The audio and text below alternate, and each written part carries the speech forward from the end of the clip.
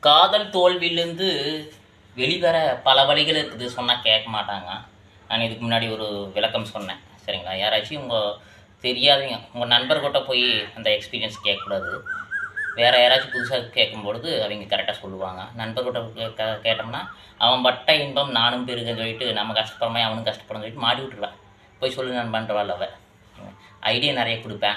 சரிங்களா? வேறவங்கிட்ட போய் கேட்டுக்கோங்க. ஒன்று இன்னொன்று எப்படி வெளிவரலான்னா காதலுக்கு மேல் காதல்.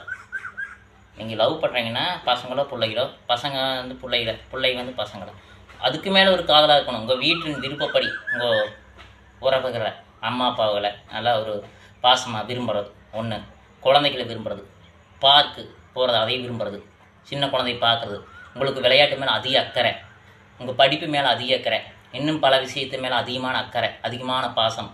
முடியவே இல்லை அப்படிங்கிற மேலே ஒரு அக்கறை.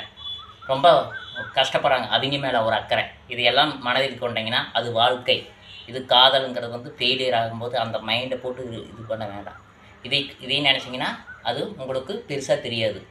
உங்களோட வாழ்க்கையை வெற்றி பெற காதலுக்கு மேல் காதல் கண்டிப்பாக ஒன்று வேணும். சரிங்களா? அது விளையாட்டாக்கலாம் படிப்பாக்கலாம் யோசித்து பார்க்கும்போது அது பெட்டராக இருக்குது இதுலேருந்து விடுவரக்கு லவ் பண்ணிட்டு இருக்கும்போதும் விடுவரக்கு பெட்டராக இருக்குது லவ் பண்ணி தோல்வி ஆகிறவங்களுக்கு விடுவரக்கு பெட்டராக இருக்குது தெரியாதவங்களுக்கு பிடிச்சினா கண்டிப்பாக சேரணும் யோசிச்சு பாருங்கள்